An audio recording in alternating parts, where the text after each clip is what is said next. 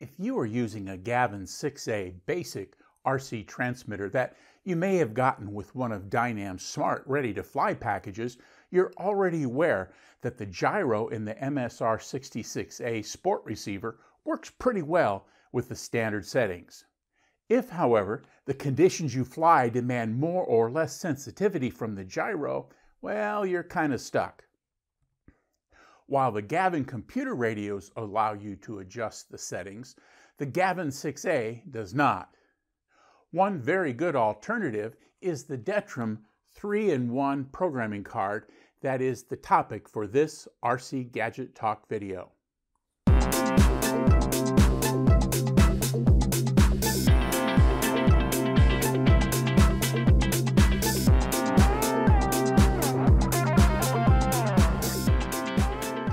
One programming card isn't really a card at all, but it's a small box about the size of a deck of playing cards. It has an LCD screen, some control buttons, and input sockets to connect the three devices it can interact with. Let's do a quick overview before jumping into how to operate the device. The first of the three-in-one's function is stabilizer programming. By plugging in the programming card into the MSR66A or the Detrum SR86A Sport receiver, using the included micro USB cable, you will access the programming variables just like when using the Gavin computer radios or the Detrum Blitz 9T radio. It will be handy to have read and understood the stabilizer instructions before getting started and to have them nearby for reference. The card will also program the iStone All standalone stabilizer from Detrum. The second function is the ability to program the Skylord Advanced Series ESCs for planes and the Volcano ESCs for RC cars. By plugging the ESC into the programming card using the ESC's throttle connect wire, you can program ESC variables such as brake settings and harder soft starts. Again, your ESC instructions will be handy in selecting the proper settings for your application. The third function is the ability to plug in the balance tap from your battery and get both total voltage and voltage by cell. The programming card will accept up to 8 cell batteries. By keeping up with the discharge characteristics of the cells in your battery, you can get a sense of overall battery health. Healthy batteries will discharge each cell within a tenth of a volt or less from each other. Okay, so let's plug this in and see how it works. Okay, so now we have the model plugged in. Uh, the radio is on, the receiver's made connection, the propeller is off since we're here in the workshop. Uh, and then I plug the, um, the micro USB co cord into the MSR66A receiver. And so you can see that the, um, the programming card uh, initialized when it plugged in. It was powered through that USB cord. And, uh, and then the various things that you can set are listed and you can work through the memory just pretty much the same as on one of the Gavin um, computer-based radio. So at the top corner you can see that I'm on page one of nine. And so there are nine things that I can change. And, uh, and then I can move down these programming steps using the up and down buttons over here. I can make a selection by using the, um, the carriage return or the angled arrow over here. And then I can go backwards using the curved uh, arrow, much like you would see on a TV remote or a video remote. Uh, and then I can move back out of that step. So let me take just a second and um, move the camera and zoom it in on the screen so you can see that better. Uh, just know that here are the, um, the various uh, buttons you're, I'm pushing to get the responses that you'll be looking at. okay, that looks pretty good. Now, in the instructions it says first thing before you start setting these things is to go down to some of the bottom choices and so we're going to go down to the bottom and make sure that the wing type is normal on this little Primo that I'm uh, looking at. It's got a normal wing. It's not a V-tail or a delta wing. Uh, and then the other thing is um, uh, I move up and then it's the mounting direction. And in this case, I've got the label pointed up. If I wanted to move in here and, and if the airplane was sitting if the receiver was sitting on its side or upside down, I could make the changes here. So I'll select that, and then you can see you can go it's down, right, left, uh, and then move right back down to the up position is where it is, and then I'll press that little carriage return button and select that. So I'll sc scroll back up to the top of the selections and uh, select the fly mode and this is where I have them assigned to a three position switch and this tells the receiver what signal from the switch to act on. So switch position one, I want it off. Uh, if something were to go go uh, cattywampus with the gyro, I want to be able to turn it off when it's airborne. Switch position two is the normal mode, which is where I fly it most of the time. That's just normal uh, gyro assist in windy weather. And switch position three is the safe mode, and that's the auto recovery mode. So if I were to invert this or stand it on its tail uh, on purpose and then flick the switch to position three, the airplane rolls level and it works really pretty cool. It's kind of fun to do that just for fun. Uh, in a serious situation, if you lost orientation, you could flick that switch and given enough altitude, your airplane would return to uh, straight and level flight. So again, I'm going to go back now, these various gain switches, uh, I'll just select one. And uh, now the reverse is if the servo is moving in the, the reverse direction, it can be reverse or uh, normal. And then the, the angle gain or the rate gain is just the amount that the servo is going to move. And these are things that you would change if when you were flying your model, uh, it was bouncing around a little bit, if the servos were uh, chattering as a result of having too much gain from the gyros in the stabilizer portion of the receiver. And so generally you want to start pretty low. I've got these set where it came uh, and I found it to work fine, so it's at about 50%. If you were looking at one of the older stabilizers with mechanical potentiometers, this would be set to about halfway. So there are a number of gains that you can adjust. You can adjust the roll gain, the pitch gain, and then the roll offset and the pitch offset uh, are controls that you want to check. You can check both on the ground and in the air.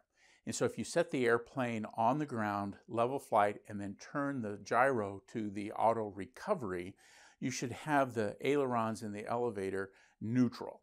And that's what you'd be looking for during that auto recovery.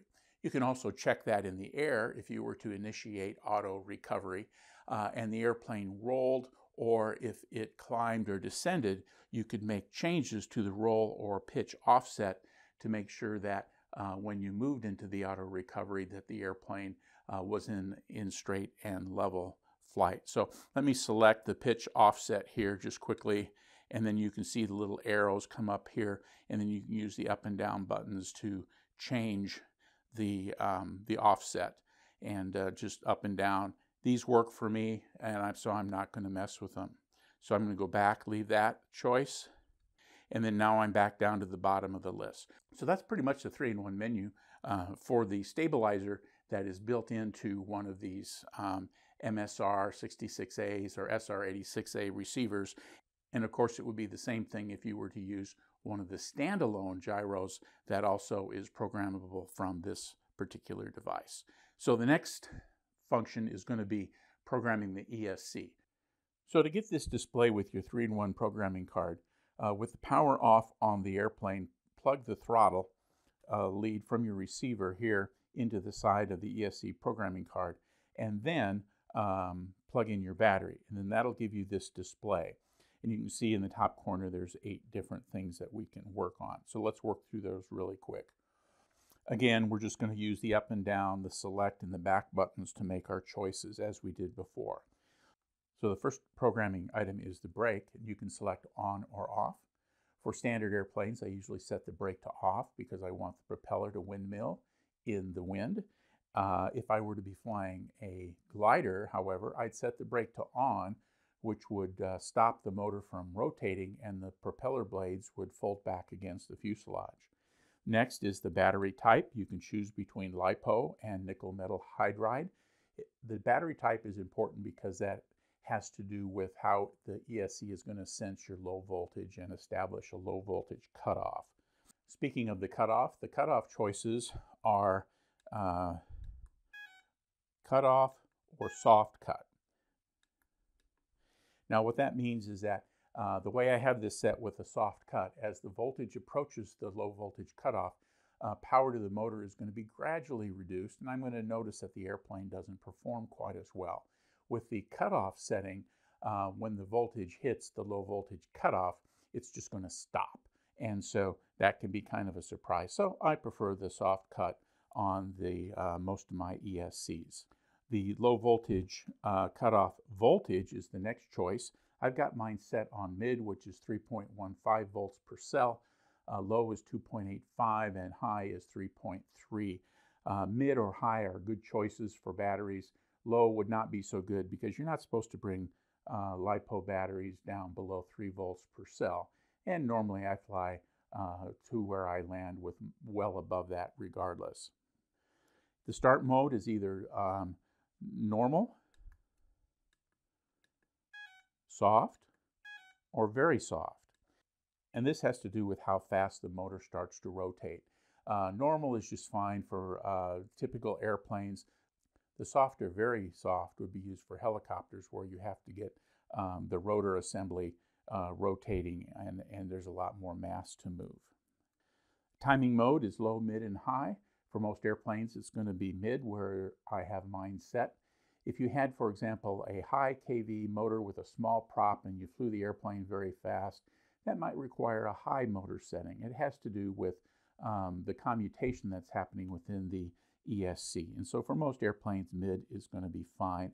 If you find the motor is stuttering and, and acting up a little bit, this might be a setting that you might want to consider changing. The next one is the load to default, and that's simply uh, similar to a reset. It's just a matter of loading all the default settings, and I don't want to do that, so I'm going to pass that by. And then the about is simply uh, the firmware and software and everything here on this particular 3-in-1 card is version 1.0.0. So uh, we'll go back to that. And then we've gone through all eight settings, so that's the ESC programming.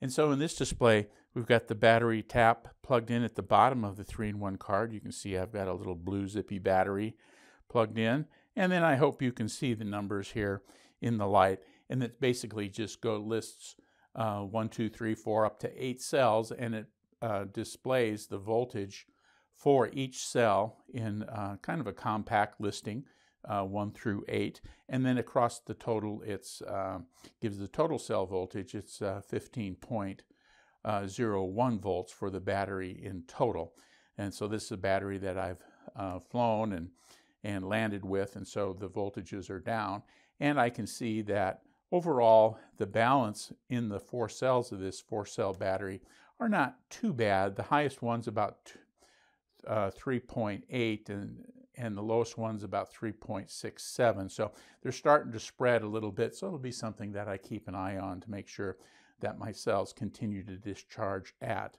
um, a similar rate when they're flown. So those are the three functions of the 3-in-1 programming card from Detrum. The Detrum 3-in-1 programming card is a handy tool for both setting ESC and stabilizer variables, as well as monitoring battery performance. If you are working with a basic radio like the Gavin 6A, or like to keep track of some of the technical aspects of your model's performance, the Detrum 3-in-1 programming card is worth the $20 investment. As with other devices of this kind, they generally only work with the brands and device series noted in their description.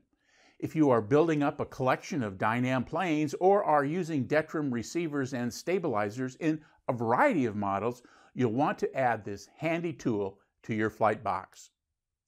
As always, if you found this video helpful, please click on the thumbs up icon below the video and consider subscribing to the RC Plane Views channel. Click on the bell icon to be notified when I post new videos. Thanks for watching.